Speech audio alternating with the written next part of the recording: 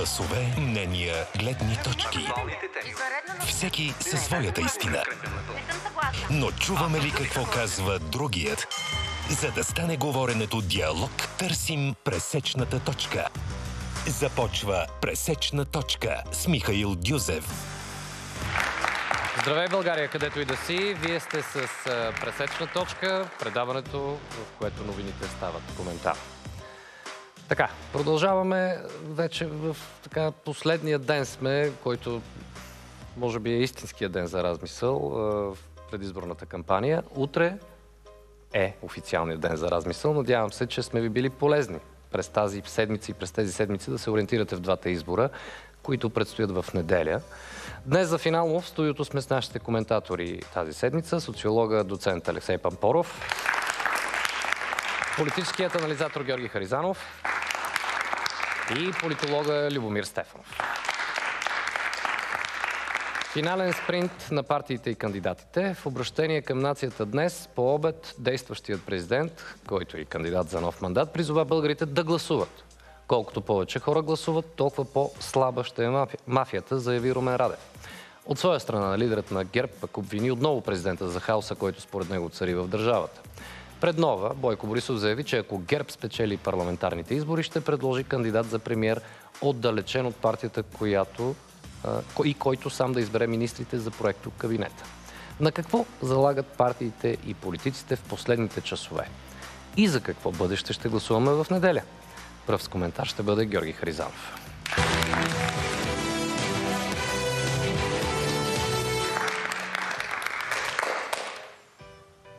За различно, господин Дюзев.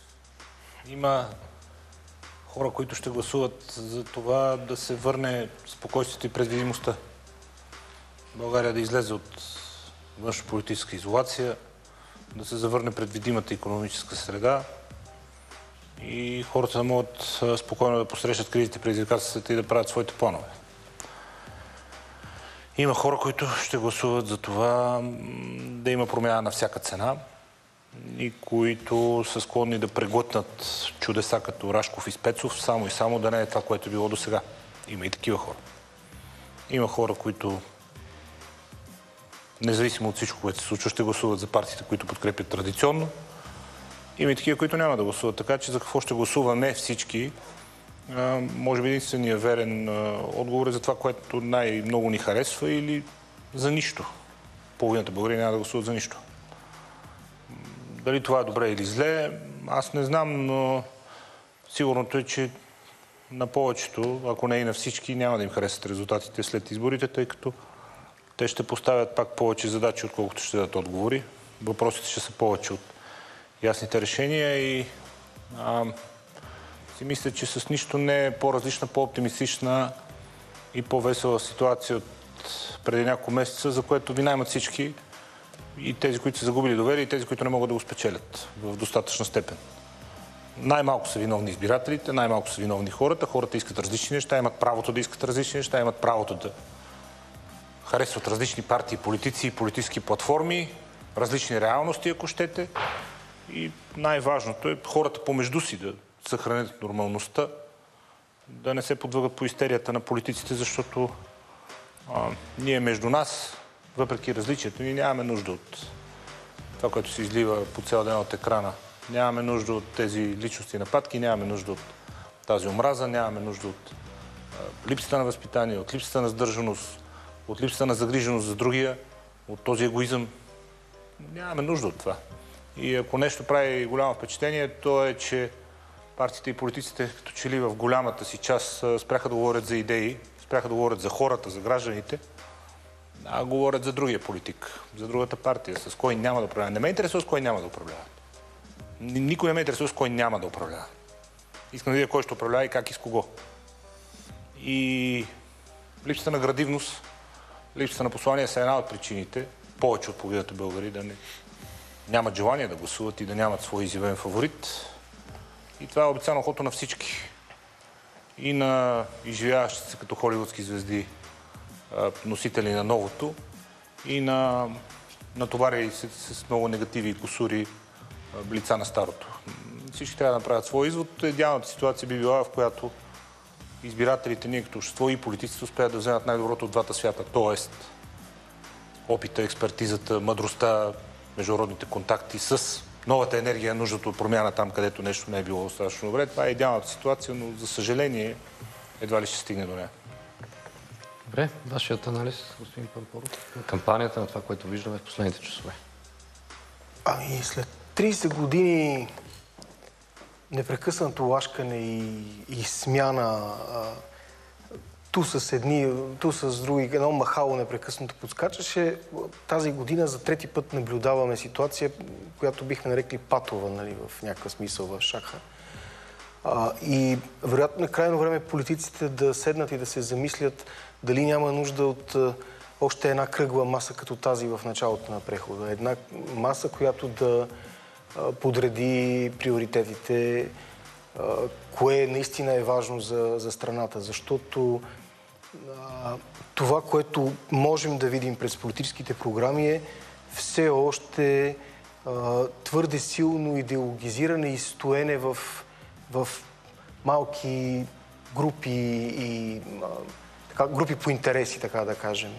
И, програмата на ГЕРБ, да, да речем, като партия, която вероятно ще бъде на първо място, е програма, която действително обещава това, което беше до сега по време на управлението. Ще има строежи, ще има увеличено финансиране за строителство, инвестиции в инфраструктура, всичките им образователни, здравеопазване, всички политики, които обещават, са през, през някакво строителство.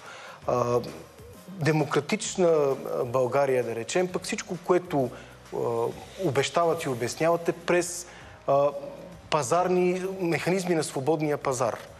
А, тоест, те казват, че до сега не е имало свобода на пазара, имало е зависимости и а, ние образование ще направим през независими доставчици, здравеопазване ще направим през социални, всичко през независими доставчици и свободен пазар, което в една по-скоро бедна държава не винаги може да се получи ефективно, така, така да кажем.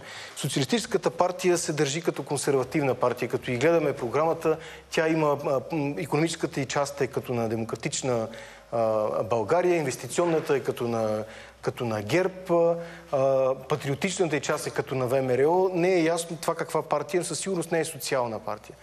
Най-социално се държат новите лица, така да кажем, на, на сцената.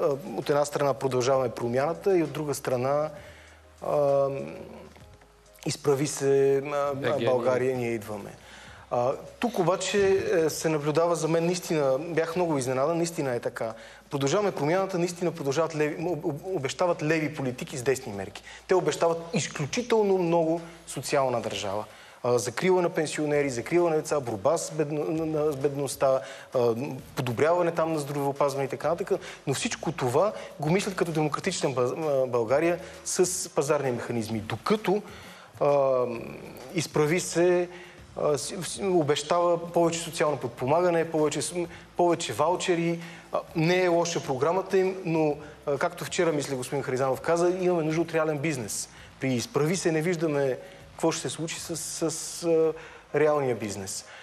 А, ДПС нищо не мога да кажа за тях, не е, не е по друга причина, ми те нямат програма. Те имат, те имат една дипляна, в която се казва какво е ДПС и нищо повече. Те някакси имаха много паси, на идеологическо ниво изключително пасивна промяна, така че хората трябва да изберат действително кое, кое ги вълнува повече. Дали ги вълнува повече социалното, дали ги интерес, вълнува повече бизнеса, инфраструктурите, дали ги вълнува повече социалната подкрепа.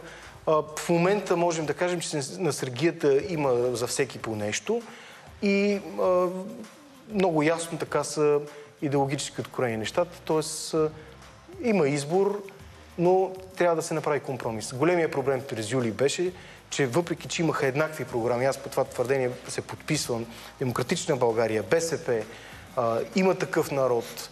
А, изправи се, имаха еднакви програми за, за дигитализацията, за здравеопазването, за зелената енергия. Те имаха много, много, много сходни програми. Не можаха да са на една маса по някакви други причини.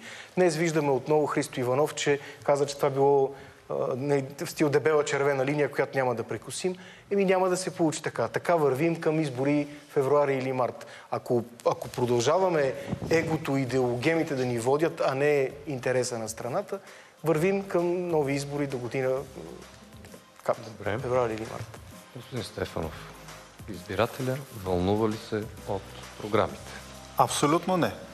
С колегата има за това нещо да изследваме програмни документи на партиите. Освен нас, изследователите и някой друг граждан с нездрав интерес и свободно време за убиване, никой друг не ги чете тези неща. Партиите обаче не си научават урока в България. А, това, което според мен прави кампанията да изглежда куха, вяла и несъстояла се, е прагматизма в нея. Идеологемите са навсякъде линии, колкото искате. Сега но сме в някаква паяжена, в някаква виртуална вселена, където различни фантастични герои казват как нещата няма да стат и търсят архизлодея между тях. И всичко е лично. В политиката нищо не е лично, тъй като идеите остават, хората се сменят. А, ние не виждаме идеи, виждаме някакви неща, в които един е крив, защото е стъпил с левия крак напред, другия е с десния. Един е казва, парите са алфата и омегата, с тях ще оправим нещата, другия казва, корупцията е проблема в цялото ни общество. Друг има фиксация с личността на главния прокурор, без да разбира, че проблема е цялостната постройка на правосъдната система. И така нататък, и така нататък. Но това е нещо, което го говорим по този начин, избирателите се объркват. За тях политиката Помните в България преди 40 години ние го говорихме, и когато стана дума за 10 ноември, тогава се говореше за светлото бъдеще, което така и не дойде. Онова недоносче никога не се случи, освен в главите и в книжките на доста изследователи, които бяха на синекурни длъжности.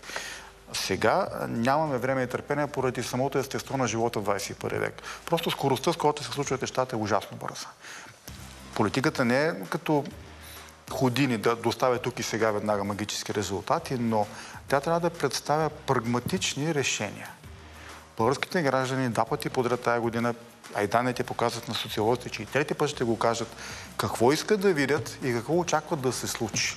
Проблемите всички ги знаят. Както каза и колегата, те платформите им са допирни, да не казвам, че се припокриват. Заемстват едни от други. И тогава наистина господавател не може да разбере, добре, когато картите ви са едни и същи, как не успявате да артикулирате нещата на представително ниво, да формирате не просто мнозинство, а стабилно правителство?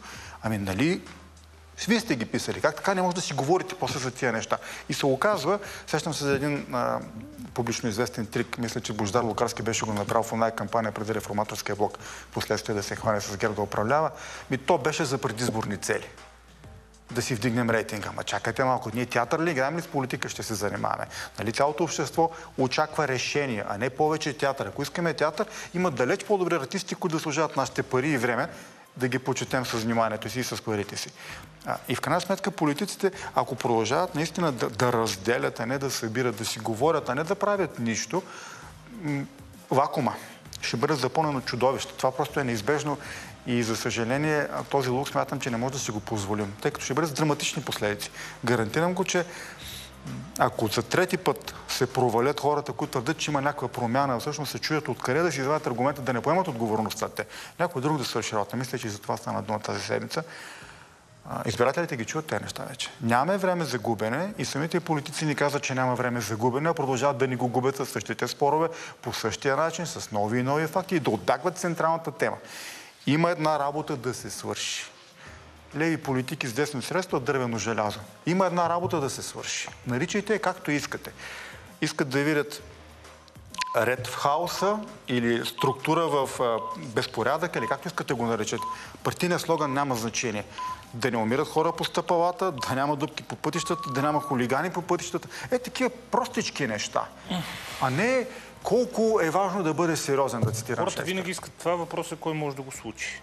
И той до голяма степен обяснява динамиката. Посланието е не само един. Посланието е, че трябва да бъдат всички, за да бъдат представителни за обществото и не техните решения да бъдат валидни и е, задължителни. Друг въпрос е свръх натовареността на държавата като арбитър и като източник на всички решения. Нали? Тук клон му падна на покрива, той вика къде е държавата. Ви къде да е държавата?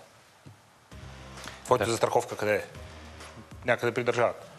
В този смисъл държавата е свръхнатоварена с очаквания в моменти на криза каквито се намираме няколко кризи, държавата е още по-натоварена с очаквания и нещата, които господин Стефанов каза, са абсолютно вярни, но те са вярни преди всички избори. Това, за което се гласува на изборите, кой изглежда най-много като човек, който може да ги избъдне. И пак казвам, според мен това обяснява динамиката социологията последните 3-4 месеца. Дали обаче мъдрост, диалогизъм, нова кръгла маса ще се състои, аз съм силно скептичен. По-скоро отиваме към неизвестното, а в неизвестното няма положителен сценарий. Тук господин Стефанов е абсолютно прав. Силно притеснен съм за това, което ни чака след поредното завъртане на рулетката и за реакцията, цялостната, която ще последва. Добре. След като то най-вероятно се окаже пак неуспешно. Да погледнем в следващата ни тема по-прагматично към неизвестното. Има важна задача да се свърши от е, бъдещето Народно събрание, но след рекламите.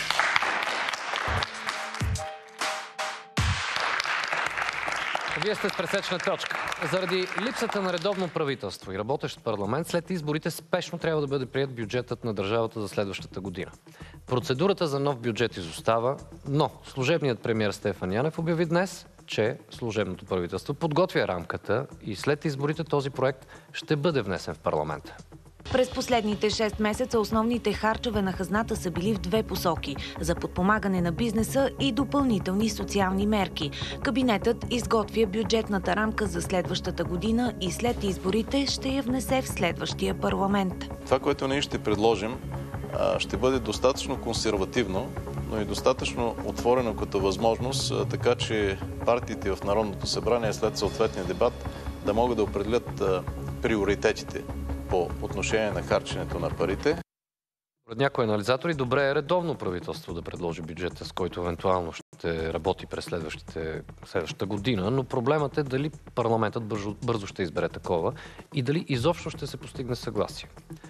С анализ пръв ще бъде Любомир Стефанов.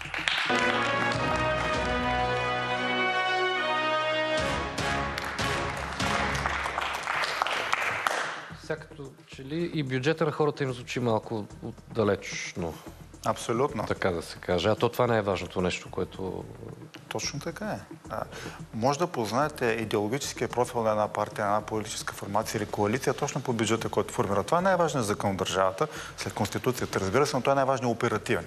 Алфата и омегата. Там са заложени парите откъде идват, парите къде се харчат и какво се получава като резултат. И виждаме, и си правим сметката, и си има индикатори, и мерим кое как се случва.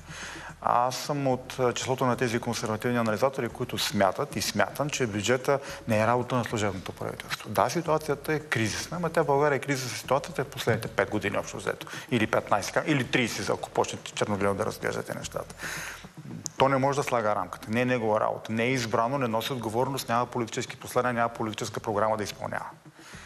А, така че е хубаво да си имат идеите. Прекрасно. Нека да ги споделят с бюджетната комисия, когато се сформира така в следващия парламент. Нека да ги споделят с следващия финансов министр, когато предават властта, с следващия министр-председател. Но да казват, ние ще внесем законопроекта за бюджета в следващия парламент, пък те да го разглеждат или да не го разглеждат, и звучи като а, надвишаване на правомощията. Това не е избрано правителство, пак казва, няма никакви делегирани правомощия. Той има по презумпция задача да организира избори и да ги администрира като процес. Управлява заварено положение, актуализираха бюджет, трябва да се справя с него. Пак казвам, това, че имат някакви идеи как да се харчат публичните ресурси е прекрасно, но те не са имали планове как да генерират този публичен ресурс, че да го харчат. Иначе казвам, отговорността не е тяхна, Хубаво е, че искат да помогнат, но да останат до тук. И се радвам, мисля, че на, на, на служебния министр председател му сработиха инстинктите да каже, че не влиза в подробности, а само да маркира някакви общи и важни неща, защото обратното би било наистина твърде заиграване по ръба на бръснача с това какво може и какво не може на служебно правителство и да го питат, на вас ли ви хрумнаха тия идеи, като ходихте при президента на отчет, там се договорихте нещо двамата. Вторият на мисли, този ред на мисли се надявам, че следващото Народно събрание ще процедира оперативно, тъй като в кампанията на всеки един от партиите, които претендират да влязат в следващия парламент, чуваме как парламентаризма се завръща прекрасно. Помните ли кога предходното парламентче успя да свика комисии, камо ли те да станат работещи, една седмица преди да се разпусне? Ако ще имаме работещ парламент, той няма да се занимава един месец с това да се изработи правилник, а процесът с паралелното сформиране на мнозинство тече с сформиране на правилник, който резултира в работа на комисии, които почват да работят с правителството. Това е една сложна материя. А гражданите истински не ги интересува тази работа, защото за това си избираме представители, които да свършат сложната работа, на нас да не кажат следното нещо. Не пипаме данъците, вдигаме детските, оправяме социалното осигуряване, оправяме здравеопазването, има пари за първа линия, за втора линия, правим вечерен час, зелен сертификат, има ням. Ете, те простите неща, които а, ни са част от всеки дневето. Не, че другите не са, тъй като ни бъркат през един джоб, през другия, преразпределят и така нататък. Но в крайна сметка приоритетите трябва да са достъпни, ясно смелаеми за всички, тъй като ето е отговорността, за която говорихме на, на всички. Когато гласуваме, ние какво очакваме от нашите народни представители? Да виждаме тяхната дейност, повече или по-малко във всекидневието си. Тоест да има правила, да има ред и да има най-вече яснота и предвидимост. Иначе нито бизнесът, който иска относителна сигурност, ще може да има хоризонт, нито ние като граждани ще се чувстваме спокойни и сигурни, че правилата, които днес са ни съобщили утре след обед, могат да бъдат различни, нито държавата не ще бъде вземана на сериозно във външно-политически отношения, когато не, не, няма ясни сигнали от нея, чуваме едните днес да казват едно, другите друго. Не вдигаме данъците и ще увеличим разходите. Една от любимите ми политически тъпоти, нали, която особено социалистите обичат непрекъснато да повтарят. Няма да дигнем данъци, ще увеличим разходите. Ама чухте ли от програмите, да, и от заявките за сега в кампанията, кой какво смята по отношение на бюджет? чухме, невероятни глупости чухме. Между другото, служебният премиер Стефан Янев противоречи на господин Кирил Петков, който не беше министър на економиката, съгласно решението на Конституционния съд защото министър Кирил Петков, докато не беше министър на економиката, каза, че няма да има повече грантови помощи за бизнес, те ще станат кредити. Кредитите никой не ги взема. Българска банка за развитие няма отпусти нови кредити за последното 3 месеца, револвират някакви стари, колкото да отчитат статистика към БНБ и между другото си изпариха половин милиард от активите на тази банка. Интересно къде отидаха. Не е в лошите кредити, защото те или се обслужват, или са в гратисен период. Да оставим този половин милиард. Да навлезем малко в детайлите. Господин Асен Василев, който между другото актуализира бюджета, нищо, че не му е работа и заложи вътре милиард и половина от плана за възстановяване и устойчивост, които никога няма да се появят. Mm-hmm. Неговия актуализиран бюджет вече се издани. А, каза, че господин Спецов, е, този човек, а, изниква непрекъснато от всякакви теми, а, е събрал повече 2 милиарда за първите 2-3 месеца, докато господин Василев беше министър, за разлика от господин Петков. А, 2 милиарда между половина и 1 милиард се изтеглиха от заделените пари за магистрала Хемус и са изтеглени около 2 милиарда заеми в последните месец, месец и половина. В понеделник ще изтеглят още половин милиард. Това са 5 милиарда лева. Къде са? Къде са? Къде са тези 5 милиарда? Аз не ги виждам. Нито един публичен разход не е увеличен. Обещах на пенсионерите 120 лева, дараха им 70. Никъде не са увеличени разходите. Всичко е спряно, блокирано, развалени договори, спряни договори, Ам, никъде не се плаща. Всички фирми, които имат отношение с държавата, твърдят, че им се дължат пари. Заради скъпия ток, заради повишените цени за износи на свободния пазар, от бизнеса се изеха около милиард лева, които отидаха като печал в АЕЦ Козлодуй, вместо да се върнат в бизнеса като обещение за високата цена на ток, която е висока на международните пазари. Тук не са се увеличили нито въглищата, нито заплатите на хората, които работят в тецовете или в така че няма причина да е по-висока цената. Изобщо тази помощ за бизнеса, за която говори премиера Янев, може би е в неговите мечти и желания, но не е осъществено от неговите министри. И ми е интересно кой е подпомогнатия сектор от бизнеса, конкретно с числата, тъй като нито мярката 60-40 има, нито 70-30, нито 80-20, нито безвъзмездните помощи, нито обещение за цената на тока. Абсолютно нищо не се случва. Това, което се случва е, че министър Комитов е почерпил с гъши дроп и господин Рашков е раздал предизборни премии на полицайите. Най-вероятно това е част от тези 5 милиарда лева, но въпреки това, къде са останалите? Е, къде би, са парите? Някой би казал, че ги държат в резерв за следващото управление. Данните на БНБ не го потвърждават. Така че какво някой ще каже е все едно. Ако, взимаш, ако имаш нова висок резерв, защо взимаш 2 милиарда нов дълг сега? Няма логика. Някъде се губят числата, някой говори на изуст, някой надува някакви цифри, някой прави реклама на господин Спецов а, някой лъже и този някой е ясен в последните няколко месеца видя кой е той. Не беше работа на служебното правителство да актуализира бюджета. Сега новия финансов министр, който наследи господин Асен Василев, казва, че той изпълнява финансовата рамка от правителството на Борисов от 2020 година. Защо беше тогава тази актуализация и къде са тези милиарди и половина, които заложиха от плана за възстановяване устойчивост, който беше внесен в последния момент и няма никакви шансове скоро да бъде одобрен. Така че а, рекламните интервюта на, на господин Янев, как да ви кажа, не пречат, но и в нищо не помагат. Особено пък на бизнеса, да не говорим пък за хората. Тогава, както ако продължим вашите тези на двамата, се чуем господин Пампоров. Моето не е теза, аз изборих факти само. Да, не, не, крайно време е да видим Аз нямам тогава, тези, имам въпрос. Къде са парите? тогава да видим работещо Народно събрание и евентуално правителство, което да изясни тези въпроси. Господин Пампоров. А, аз съм абсолютно съгласен с говорите преди мен, че служебното правителство няма такива правомощия, но мога да кажа, че много се радвам, че е започнало да го прави.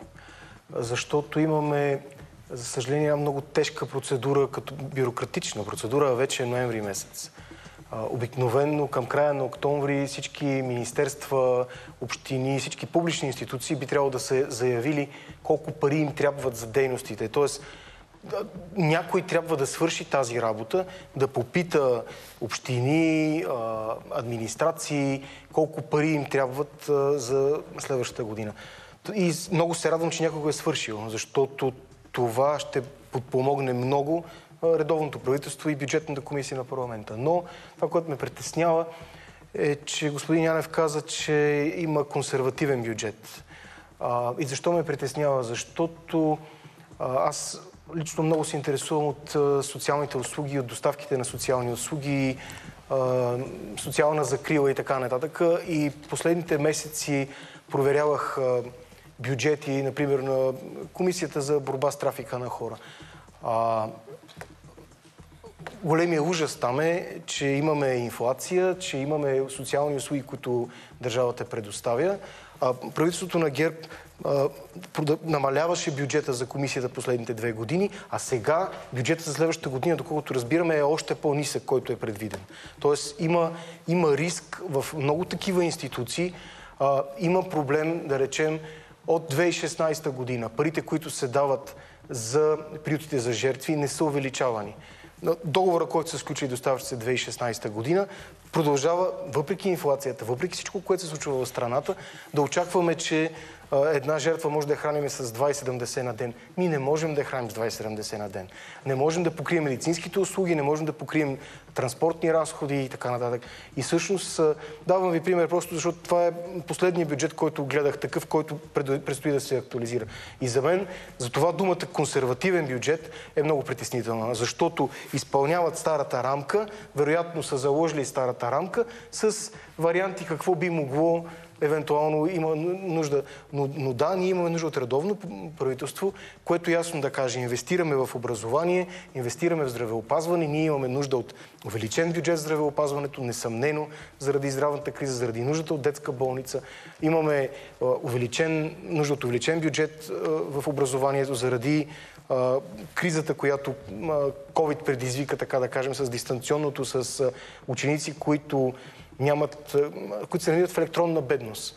Значи, нашата държава те първа трябва да помисли за политика, при която децата, които не са имали възможност да се включат добре дистанционно, да могат с наваксващи уроци, с менторство да бъдат интегрирани. Така че те първа имаме нужда от нов бюджет образование и здравеопазване със сигурност и то с много повишени параметри. И ако няма да се вдигат данъци, нека някой най-накрая каже какви реформи всъщност се прави и къде са му десните политики, защото едно от нещата, които изключително много не приемах в предишното управление, 2017-2021 беше Държавна петролна компания, Държавен ВК холдинг, държавна структура, нова държавна структура, още държавна структура.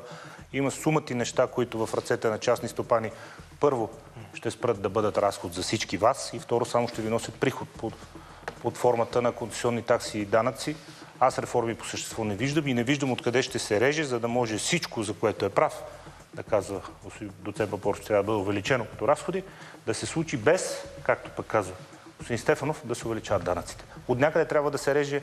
Никой не казва откъде. Всички само обещават.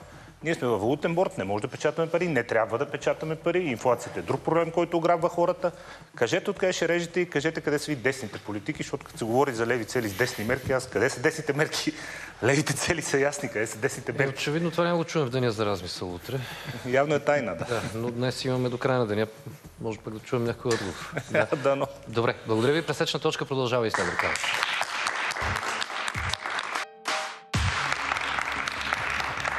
Вие сте с пресечна точка, третата ни тема днес. Парламентът на Северна Македония не успя да свали премиера Зоран Заев с гласуване, защото процедурата не се състоя. На практика един депутат, който се отказа да участва, провали гласуването. В сряда президентът Стево Пендаровски предупреди, че в условията на политическа криза липсата на мнозинство може да създаде още по-сериозни проблеми. Според него, ако няма ясно мнозинство, може да се стигне до български сценарии.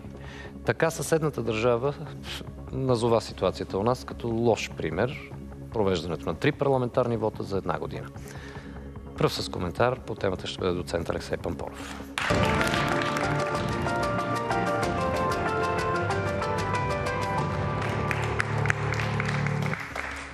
Сега не знам дали коментираме толкова ситуацията в Северна Македония, колкото цитата от господин Пендаровски и нарицателното, което почва да се...